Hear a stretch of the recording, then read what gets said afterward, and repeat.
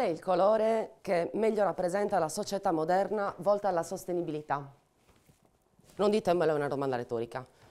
È il verde. Scommetto che molti di voi stanno pensando appunto al verde, che è il colore che ci connette maggiormente alla natura. L'ecosistema naturale offre una variegata tavolozza di colori, in cui emerge appunto il verde in tutte le sue sfumature. Il colore verde è anche quello che sentiamo sfruttare più spesso quando si parla di azioni sostenibili, in effetti. Pensate alle politiche verdi, qualcuno le chiama politiche green. Sicuramente avete letto di queste sui giornali o ne avete sentito parlare. Mm, si potrebbero citare le azioni intraprese dall'Unione Europea eh, che riguardano gli Stati membri. Ad esempio, in uno degli ultimi consigli europei si è stabilito un nuovo obiettivo l'ottenimento di un'Unione Europea a impatto climatico zero entro il 2050. Qual è il motore che spinge questi accordi? È sempre una domanda retorica. In linea generale il contrasto al cambiamento climatico, anche se più correttamente dovremmo parlare di contrasto al riscaldamento globale. Da diversi decenni le comunità scientifiche hanno lanciato l'allarme rispetto al cambiamento del clima del pianeta, in cui le fonti non rinnovabili sono la principale causa. Queste infatti immettono in atmosfera un'enorme quantità di anidride carbonica che va poi a sommarsi all'effetto serra provocando un inevitabile e insostenibile talvolta innalzamento delle temperature. A livello globale ci sono delle cause, siccità, inondazioni, dissesto idrogeologico, diffusione di malattie, per fare qualche esempio.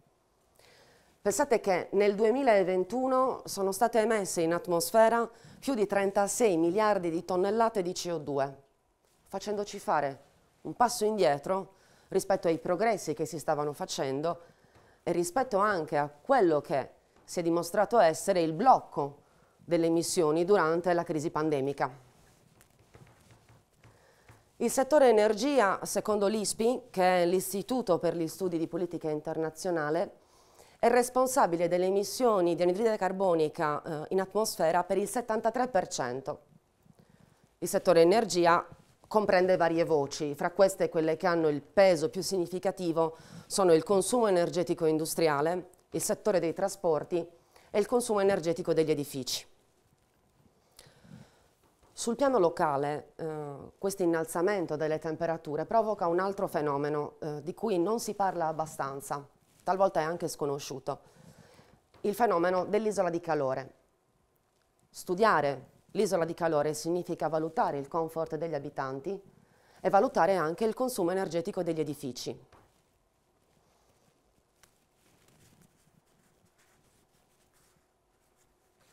Quando studiamo il fenomeno dell'isola di calore dobbiamo analizzare l'ambiente urbano e capirne le sue caratteristiche. Nello specifico, in linea generale, possiamo dire l'eccessivo consumo di suolo, che si declina in pavimentazioni impermeabili, mancanza di vegetazione e geometria delle città.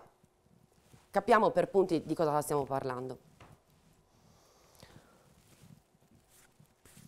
Pensate alle nostre strade, nere per via dell'asfalto e sicuramente impermeabili.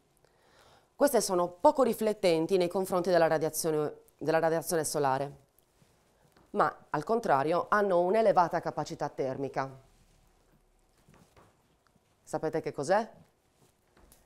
È quella caratteristica per cui ha, ci sono alcuni materiali che hanno la tendenza ad assorbire grandi quantità di calore che poi rilasciano nell'ambiente in momenti successivi.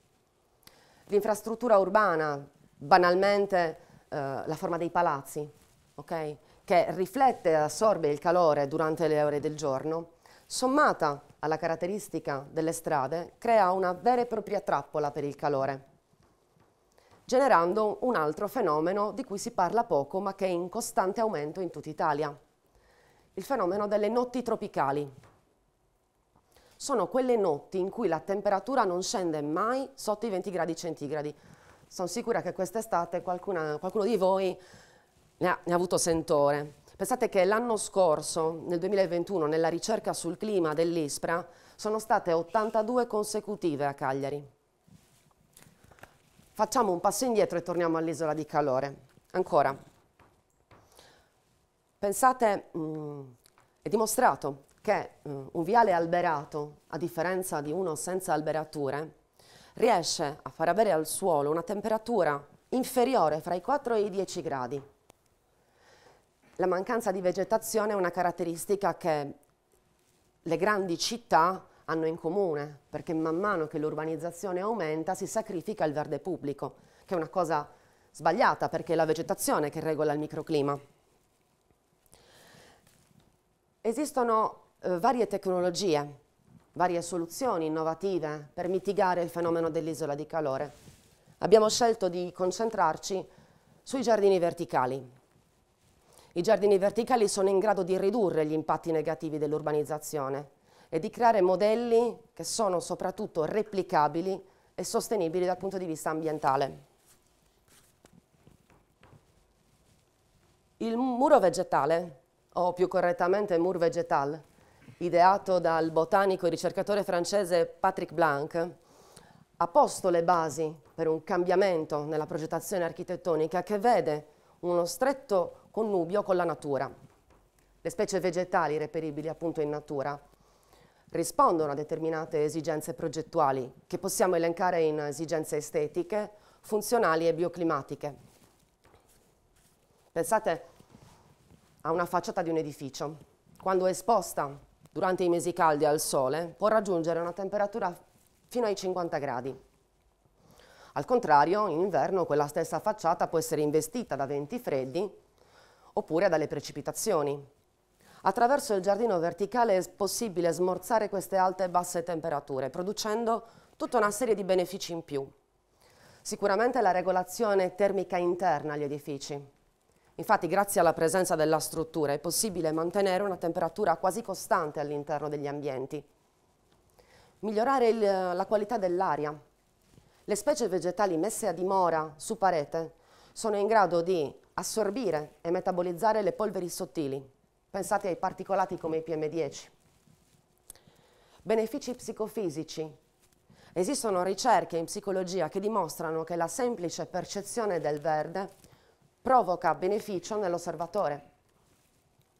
Ancora, riduzione dell'inquinamento sonoro o acustico. Pensate a quei quartieri, magari poco vegetati, in cui c'è la presenza di molto traffico, il rumore delle auto, il rumore dei mezzi pubblici, si ripercuote inevitabilmente sulla vita di cittadine e cittadini. Attraverso il giardino verticale è possibile assorbire quel rumore, ridurlo e ridurre il riverbero. Sono da ammirare alcuni nuclei urbani che hanno messo in atto una vera e propria trasformazione in cui la vegetazione occupa una posizione centrale e fondamentale e fra questi sicuramente Berlino, fin dal 1980, ha attuato una serie di strategie atte a contenere l'impatto negativo rispetto al consumo di suolo, l'abbattimento degli inquinanti e altri aspetti. In Italia abbiamo molti esempi di giardini verticali. Vi cito uno che eh, ci è piaciuto particolarmente, un giardino verticale messo a dimora sulla parete di un centro commerciale a Rozzano in provincia di Milano. È grande circa 1250 metri quadri ed è quello stesso giardino che contribuisce al bilanciamento termico dell'edificio. Anche la ricerca si muove verso la mappatura delle isole di calore, quindi iniziamo ad, ad individuarle attraverso il satellite.